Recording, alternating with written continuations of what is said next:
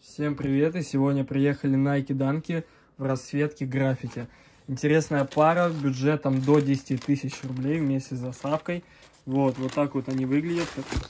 Такая вот расцветочка.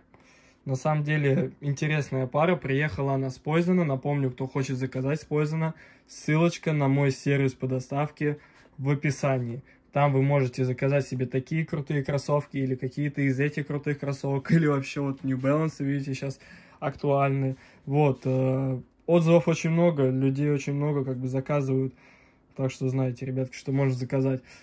Так, что же сказать про пару. Материал у нас это ткань, то есть чувствуется ткань.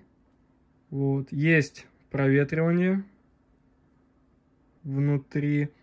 Вот такие вот шнурки, шнурки черного цвета. Не толстый язычок, ну, стандартные данки. Вот, стандартные данки по удобству, я вам скажу, они будут удобные, потому что это реально стандартные данки.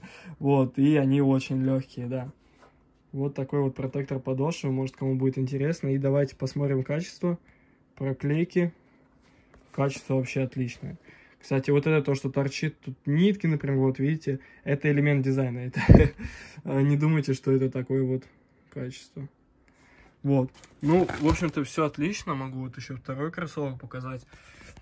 Это у нас, значит, производство вьетнамское. Nike Dunk Low Retro Piri M. Расцветка граффити, опять же.